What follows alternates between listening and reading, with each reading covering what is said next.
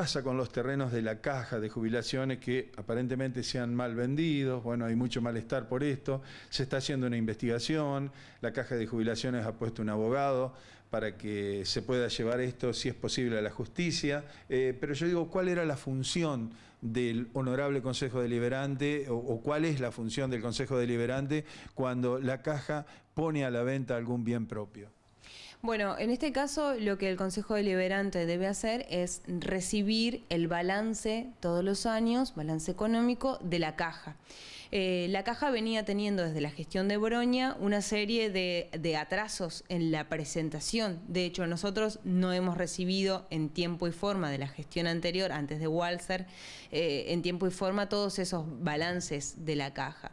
Y por otra parte, en el Consejo Deliberante se designa un concejal para que represente al Ejecutivo dentro de la caja, que es algo que en realidad no tiene lógica porque eh, son dos representantes del Ejecutivo los que tienen que estar dentro del directorio de la caja. Sin embargo, este, desde el Ejecutivo se ha pedido que uno de esos dos representantes sea un concejal. Esto justificándose en que habría una mayor este, apertura hacia el Consejo Deliberante y hacia la comunidad eh, respecto de la información y de las decisiones que se toman en la caja.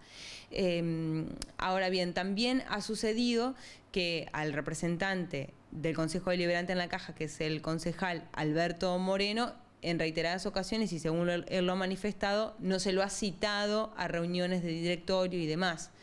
Yo no sé si esto este, es un justificativo válido o no para presentarse eh, eh, o, para justificarse respecto de las decisiones que se han tomado en la caja, pero la realidad es que en el Consejo Deliberante esa era la parte que nos tocaba.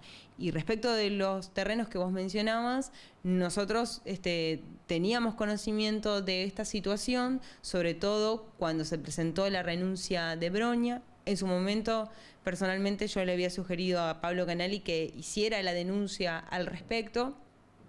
Eso después no se concretó, no se hizo una denuncia de parte del Ejecutivo. Este, yo entiendo que era por no perjudicar al resto de las personas que integraban el directorio que posiblemente no tuvieran que ver con este hecho fraudulento, si es que se trataba de un hecho fraudulento que deberá corroborarse en la justicia. Bien. Entonces el Consejo Deliberante, eh, al tomar conocimiento, obró de la manera, en realidad, eh, que obró Marisa Foloñer, diciéndole al intendente que haga la denuncia, porque evidentemente este, la cosa estaba poniéndose espesa. Esto es así. Lo que pasa es que lo lógico sería eso, cuando uno tiene dudas respecto de eh, si un hecho sucede, ocurre de manera legal o ilegal, lo lógico sería hacer la denuncia y que la justicia determine si se trata de un hecho ilícito o lícito. Eh, pero en su momento mm, no se dio esa situación.